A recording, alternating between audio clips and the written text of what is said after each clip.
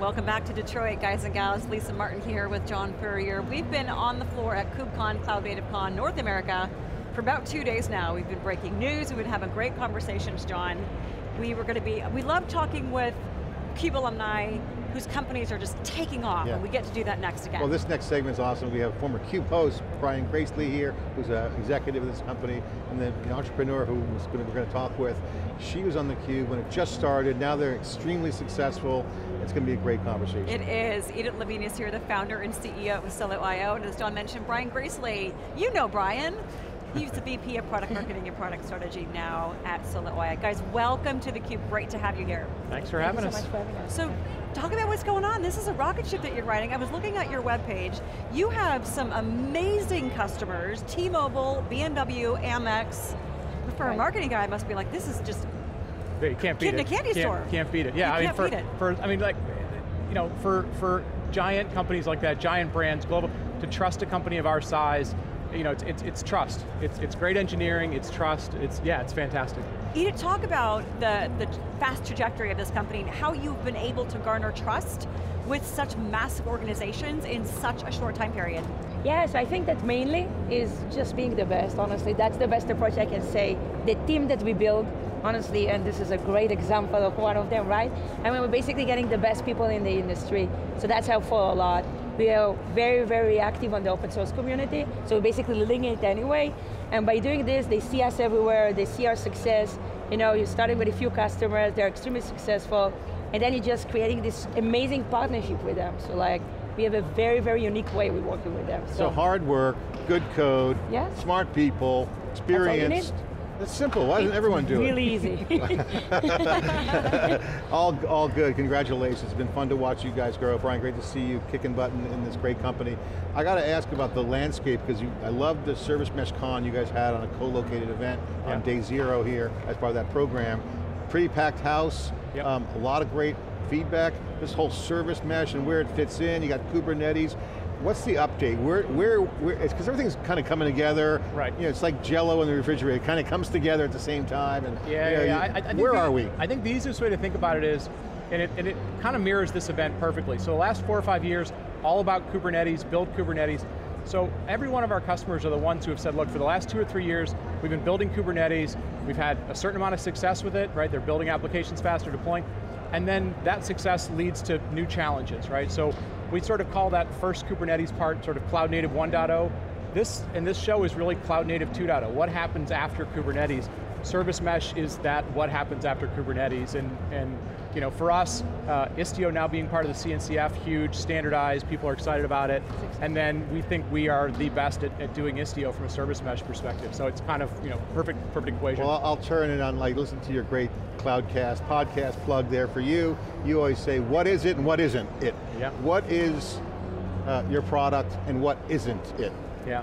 Um, so our product is, so you know, from a purely product perspective, it's service mesh, and API gateway, we integrate them in a way that, that nobody else does. So we make it easier to deploy, easier to manage, easier to secure. I mean, those two things ultimately are, if it's, a, if it's an internal API or it's an external API, we, we secure it, we route it, we can observe it. So if anybody's, you know, you're building modern applications, you need this stuff in order to be able to go to, go to market, deploy at scale, all those sort of things. Idit, talk yeah. about some of your customer conversations. What are the big barriers that they've had or the challenges that Solo.io comes in and just wipes off the table? Yeah, so I think that a lot of them, as, as Brian described it very, very well, they had a success with Kubernetes, right? Maybe a few clusters. But then they basically started to on-ramp more application on those clusters. They need more cluster, maybe they want multi-cloud, multi-cloud. And they mainly wanted to enable the team, right? This is why we all here, right? What we want to do eventually is to take piece of the infrastructure and delegate it to our customers, which is basically the application team. So I think that that's where they started to see the, the problem, because you know, it's one thing to take some open source project and deploy it very little bit, and, but the scale, right? It's all about the scale. How do you enable all those millions of developers basically working on your platform?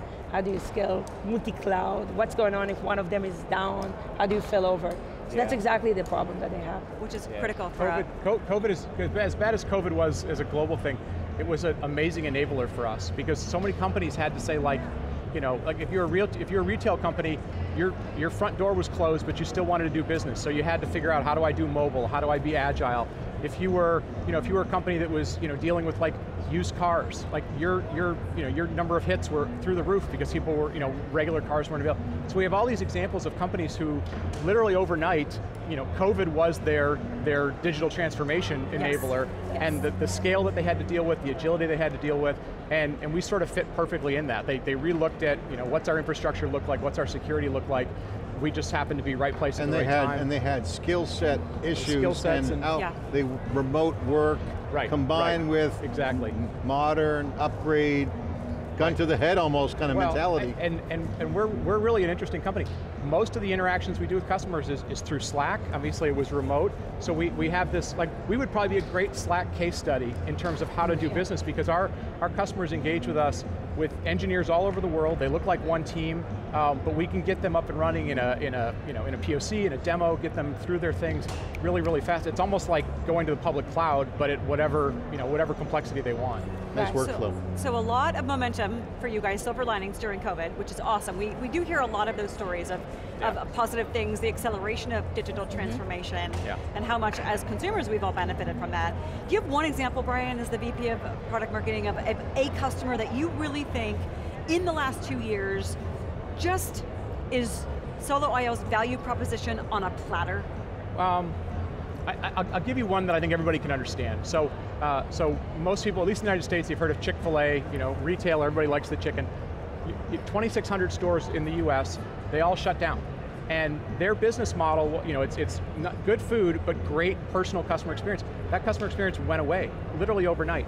So they, you know, went from barely anybody using the mobile application and hence APIs in the back end to half their business now goes through that to the point where a, they, they shifted their business, they shifted their customer experience, and they physically rebuilt 2,600 stores. They have two drive-throughs now that, you know, instead of one, because now they have an entire one dedicated to that mobile experience. So something like that happening overnight, you could never do the ROI for it, but it's it's changed who they are. And it's, Absolutely you know, transformative. so, you know, things like that, that's an example I think everybody can kind of relate to. Um, stuff like that happened. Yeah. Right. And I think that also what's special is honestly like you're probably using a product every day, you just don't know that, right? Yeah. I mean when you you know when you're swiping your credit card or when you're ordering food or when you're using your phone or honestly like the amount of customer that we have and the the, the space, it's, it's like so, yeah, every industry. How many basically. customers do you have?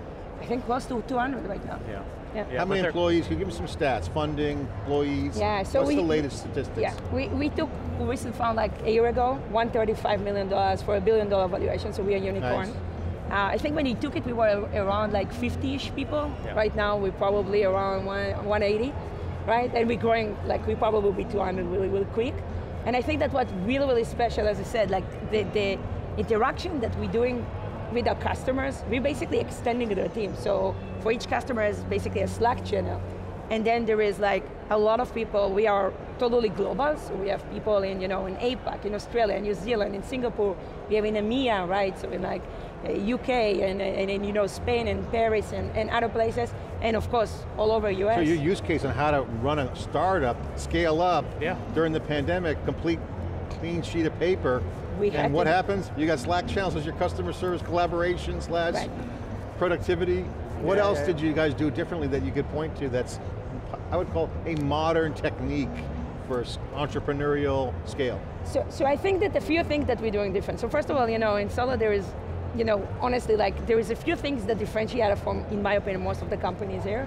Number one is, look, you see this?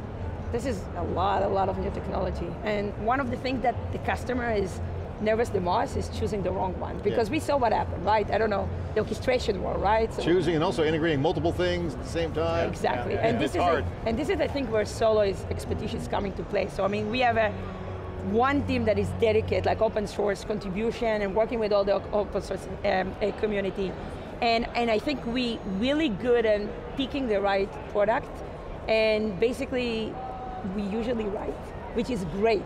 So if you're looking at Kubernetes, we went there for the beginning. If you're looking at something like Service Mesh Istio, we were all in. Envoy Proxy, right, another process. So I think that by choosing these things, and now Cilium is something that we're also focusing on, I think that by using the right technology, so first of all, you know that you know it's very expensive to migrate from one to the other if you get it wrong. So I think that's one thing that Solo is really good at.